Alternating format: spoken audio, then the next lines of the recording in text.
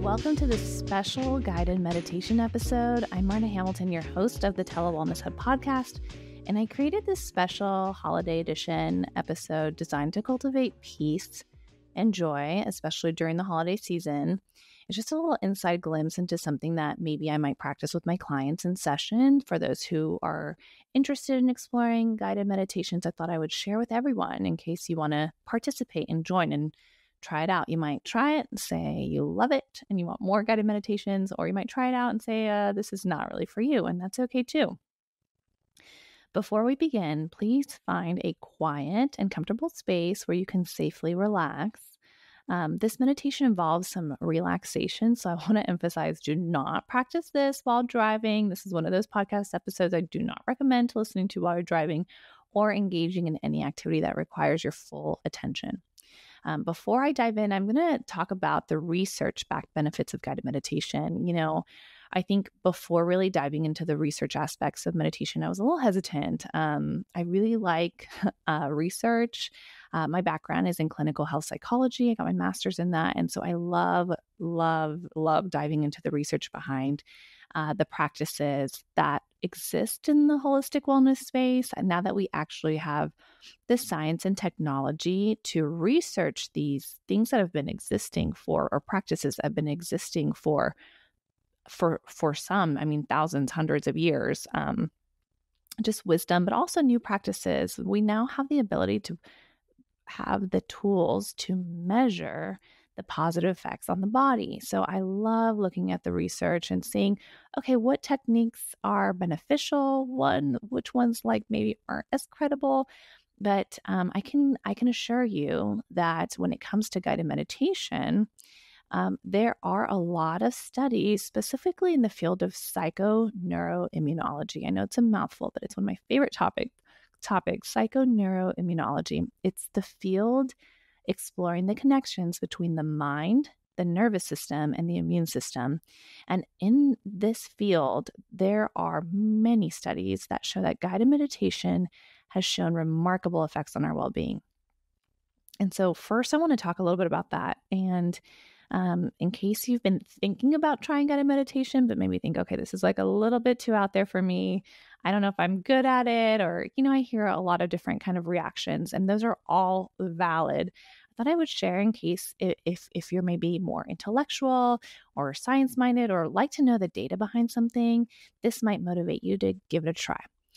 Um, so, one of the many benefits is in regards to our immune system, specifically in immunoglobulins. There's something called IgA, immunoglobulin A. You might see it in like blood lab work. Um, sometimes it shows up. Basically, it's like a superhero protein in your body that helps fight off germs, especially at places like your nose and your mouth. And uh, some studies suggest that when people do mindfulness meditations, kind of like a mental exercise, it might actually boost their IgA levels. Basically, think of immunoglobulin A as your immune system's defender, and meditation might make it even better at protecting you, especially, you know, when we talked about those germs around your nose and your mouth, those come up a lot during this season in terms of the benefits for the brain and the body, um, we know that it especially helps the hippocampus, the amygdala, and the prefrontal cortex. So basically, the hippocampus is like your brain's memory manager. It helps you remember things and learn new stuff. So the research shows that doing mindfulness meditation can make this memory manager in your brain stronger. So basically, like we've also known that stress can actually reduce the size of your hippocampus. So that's why, like, if you're really stressed, you think about like test anxiety and you just draw a blank and you say, oh my gosh, I studied this for so long and how do I not remember any of it? It could, it could have something to do with this the effects of stress on our hippocampus. So, the hippocampus is your brain's memory helper, and meditation might give a, a, little workout to basically help it out, keep it fit, and help you remember. The amygdala is like your brain's emotion control center. It helps you deal with feelings, especially stress and fear. Actually, it's it's really a big part of the flight or fight response, um, but that could be a different episode. And the research shows that meditation seems to have a calming effect on this emotion control center. It can make it less jumpy, for example, in, restro- in response to strong emotions. It can reduce the intensity and the frequency of our flight or fight. Like, you know, if you feel like, you know, sweaty hands, flushing face, heart racing, um, it can really help with that. So, the amygdala is your brain's mood regulator and meditation basically might help it stay cool in stressful times. Prefrontal cortex this is one of my favorite parts of the brain. um, and that's when you know you're maybe a nerd because this is my favorite part of the brain. And basically, it's like the boss of your brain. It's the executive control center. It helps you make decisions, it controls your emotions, and helps you stay focused. Research shows that meditation might be like a workout for this brain boss, making it stronger and more capable, and even directing more um, wavelengths and blood flow to that area. So, the prefrontal cortex is your brain's decision maker, and meditation could be really helpful for it. Um, and another thing, also related to the brain, cortisol levels and your heart rate variability. So, cortisol is a hormone that shows up when you're stressed. Too much of it can be a lot for your body. You might see it be linked to everything from higher likelihood of, of um, increased symptoms of anxiety and depression to um, increased likelihood of getting sick to increased weight gain. And research shows that meditation might be essentially like a chill pill for your body, bringing down the level of cortisol when you're feeling stressed. Cortisol is the stress hormone, and meditation might help keep it at a calm level. And lastly, there's heart rate variability. It's it's basically like your body's rhythm. When it's steady, your body is happy and relaxed. So meditation can help keep this rhythm steady, making your body more relaxed. It's a way to kind of, I guess, where where your thoughts go, your body can follow. And so basically by meditation helps it keep it headed in the direction that you'd like to go, steady and calm. So, understanding how meditation can basically be like a superhero training for your immune system and a workout for your brain can make staying healthy and trying out guided meditations a bit more fun for a lot of people. So, but just wanted to give a little bit of that background before we dive into this guided meditation that I developed for the holidays for facilitating and cultivating peace and joy. Before we mm-hmm. begin, a gentle reminder to please um, find a quiet and comfortable space if you can where you can safely relax because it does involve deep relaxation. I do want to emphasize you do not want to practice this while driving or engaging in any activity that requires your full attention. But if you'd like, you can begin by if you're in a place where you can lie down on your back, you can do that. If you'd prefer, you can sit in a chair with your arms relaxed, your feet uncrossed and just being comfortable if that's best for you, with your arms resting comfortably by your sides, palms facing up perhaps, or even face down on your lap if you're sitting. If you feel comfortable, you can close your eyes gently. If you do not feel comfortable closing your eyes, you can just let them rest with a soft gaze, releasing the releasing the usual tension that we have around our eyelids just allowing any feelings of warmth or comfort to surround you. First, take a deep breath in through your nose, filling your lungs. Exhale through your mouth. Release any tension. Again, take a deep breath in through your nose, maybe this time noticing the temperature of your inhale, of your breath as you inhale, and exhale through the mouth and the nose, releasing any tension, noticing the temperature when you exhale. Maybe it's cool as you inhale, feeling the warmth as you exhale. Noticing that by paying attention to this, you're practicing mindfulness, which is paying attention to something on purpose, not placing any judgment, just noticing what is. Continue to breathe paying attention to your beautiful breath that is always with you, and let go of the day's concerns and bring your awareness to this present moment. As you continue to shift your focus to the sensation of your breath, just notice the natural rhythm, the inhaling and the exhaling. And as you breathe, allow yourself to imagine inhaling peace and exhaling any stress. For some, it might help to visualize a soft golden light above you that you inhale, radiating warmth and tranquility. And with each breath, invite this light to just descend over the crown of your head, over your face, your neck, your forehead, just being in this soft, soothing glow.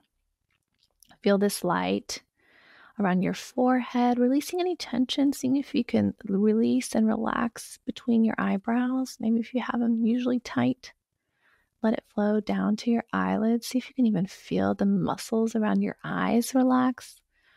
Relaxing the muscles around your eyes, your eyelids, maybe even allowing this warmth to soften your cheeks, your jaw, this is a form of progressive muscle relaxation. We're just guided into each purposefully releasing and relaxing on purpose from the crown of our head to our toes. I'd like you to maybe even see if you can relax your tongue. If you notice you have it tensely on the roof of your mouth, sense the light moving down your neck and shoulders you need to, you can shrug your shoulders up and relax, melt away any tightness or stress. Feel this relaxation embracing around your chest, bringing a sense of openness and ease to your heart. And as the light continues its descent, let it cascade down your arms all the way to your elbow, your fingertips, maybe even feeling like each single, single fingernail is relaxed. Just feel a gentle wave of relaxation moving through your spine, vertebrae by vertebrae. Experience the warmth around your stomach, releasing any knots or discomfort, letting it flow down to your hips, yeah. your thighs, your knees. Soften every muscle it touches. Imagine the light streaming down your legs, reaching your ankles. Maybe you need to move them around a little bit, your toes, wiggle them, and then just find the stillness. See if you can feel the relaxation. Feel a profound sense of calm spreading through your entire body as if you're just cradled in a cocoon of serenity. And in this state of deep relaxation, focus on the theme of peace. It may help to picture a serene landscape, a place that brings you tranquility. Maybe it's a beach or your backyard or a forest or a park down the road, maybe a mountain. Allow the details to unfold the colors, the sounds, the sensations. Sense the peace surrounding you, sinking into your very essence. With each breath, absorb this peace, letting it fill every cell of your being. Now shift your focus to the theme of joy and visualize moments of joy in your life. Simple, heartfelt, full of warmth. Feel the energy of joy bubbling up within you, creating a sense of lightness and positivity. And as you bask in the glow of peace and joy, know that you carry this tranquil energy with you. Take a few moments of silence, noticing your breath again. The coolness of the inhale, the warmth of the exhale, maybe even noticing if one nostril inhales more breath or exhales more breath. Just noticing out of curiosity, noticing this moment that you took to intentionally relax. In a world of to do lists with tasks upon tasks to feel accomplished, notice the sense of accomplishment by just allowing yourself the opportunity to relax. Knowing that you can always repeat this. And as you bask in the glow of peace and joy, know that you carry this tranquil energy within you. And when you're ready, To return, bring your awareness back to your breath, more deeply inhaling, more deeply in ex- exhaling, feeling the rejuvenating power of each breath. Gently wiggle your fingers and toes. Maybe stretch your body, move your neck, flutter your eyelids open when you're ready. And may the peace and joy cultivated in this practice accompany you throughout the holiday season. Thank you for joining this guided meditation. Amidst the festive hustle, remember that taking care of yourself is not only a gift to you, but also to those around you. And it's a ripple effect of well being that spreads joy. I thank you for trying out this guided meditation. It's just a little tiny glimpse. I try to combine a little bit of body work, breath work, and visualization that's common in meditation. Maybe there's elements of it that you really liked, so you can explore that more. Maybe it's not for you, and that's okay. But you know, thank yourself for practicing mindfulness meditation and trying something new for yourself and taking that time away for for just some quiet and some breath work and intentional intentional self-care. And I'm just going to encourage you to to know that there are tools that have a lot of research, not just theories, but there are actionable steps that you can incorporate into your daily life. I just encourage you to make time um, to make this holiday season a time of joy and self care if possible, and Find moments to savor, appreciate the simple pleasures, and prioritize your well being. You deserve a holiday season filled not just with external festivities, but also internal peace and tranquility. And if you're struggling to find that, even with different tools and resources, you're not alone. There is a science also behind therapy and the reasons why talk therapy works. So I'm going to encourage you to reach out to a therapist.